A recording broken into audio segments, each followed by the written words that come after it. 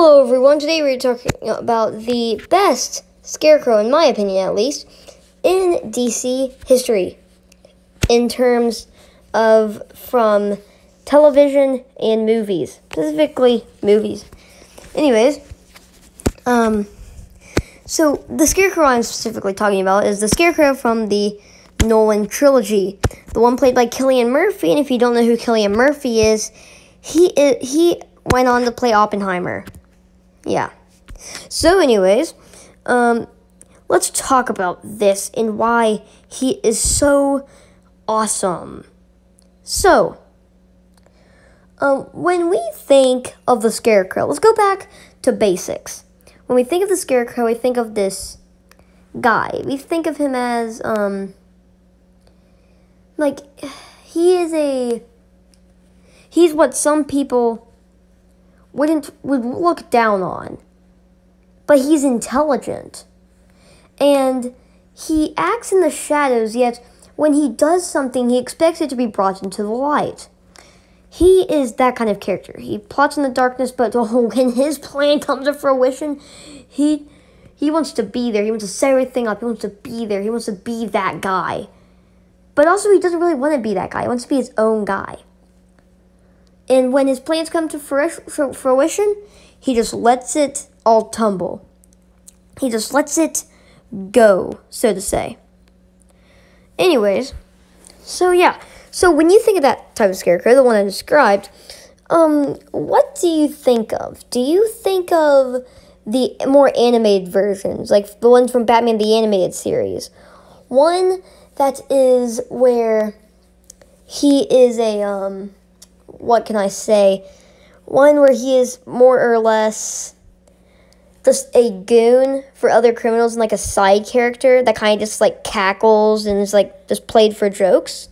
In in a in Batman the Animated Series, Batman the Animated Series is good at many things, but in terms of the joke, and but in terms of the Scarecrow, I think not. Most animated um, Scarecrows actually get this character in my opinion at least, wrong based off of what we've seen from the comics. They put him as this cackling, literal side character. Pretty much. Anyways, um, apart from this, now we turn to the ones that we've seen in live action. Specifically, the, the two that you that you can probably think of right off the top of your head are are obviously the Nolan trilogy, Scarecrow, the one we are talking about today, or you can think of the one from the Gotham TV series. Now, the Gotham TV series takes an interesting take on the Scarecrow. I think it was based off of the version of Scarecrow from the Arkham games, but I'm not too sure. This type of Scarecrow is really has the same runs into the same problem that the other scarecrows do. He is literally a side character that is played just to be there, just for the plot. Say for every big plot, whether it be the Joker or um, the Riddlers, um, Scarecrow is just there. He's just there. But no, this is where the Dark Knight trilogy's um, Scarecrow runs in and takes the number one spot. What he does is he, when he's introduced, first thing he does is he goes in, he asserts his character. He asserts himself as the scarecrow. We see him doing this, and and we, we're immediately introduced to him, and he's using this fear toxin, but at the same time, he likes his work and we don't know what he's up to. It gives us something to wonder about until we exactly figure out, you know, what he's about. This leads in to an entire thing of us figuring out what he's about. And oh, that scarecrow mask is just a beauty. Honestly, I love that scarecrow mask. It is just a mwah.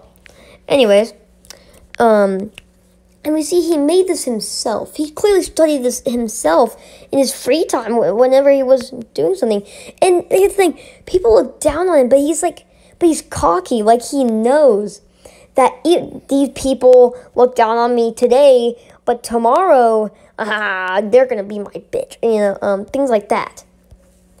Um, and he uses it, his mask, in such a way. He's like, I'm gonna get stuff done, but I'm also gonna have a little bit of fun with this too. So you know, he makes like little remarks when he's when he lights Batman on fire and stuff like that. You know, a villain doesn't get to set Batman on fire every day. I mean, even the Joker didn't do that. And I think the Joker would have loved to do that. Anyways, also now that we've talked about the character in general, I want to speak of how he is used later. How he is drastically underused in this franchise going forward. Specifically in The Dark Knight and Dark Knight Rises. Like, he is criminally underused in these movies. And he is pushed to the side. And, um, at the end of Batman Begins. Honestly, I'd loved him to be the main villain instead. But, anyways, um, that just goes to show how in Batman Begins, how my point of him, he just sits to the side when his he knows his plan's gonna work out, and then he lets it go. He literally says, "You know, there's nothing you can do to stop me now." but and and he's like he he, he knows what's gonna happen before it happens. He's in control, and he's he's crazy. It, it's cool. But now let's talk about his the crime that Nolan committed while making these Dark Knight films. This crime I'm talking about is underusing the Scarecrow in a massive way. Say in the Dark Knight, he is seen just to show, just to pretty much make a joke. The I don't wear hockey pants joke. He's pretty much just used for that. Um, so he's underused there, and he only has like maybe four, maybe three. He only has maybe a couple minutes of screen time in that movie. Um, and Dark Knight Rises, I mean, he's a judge, which returns him to his roots. But I feel like he could have done more.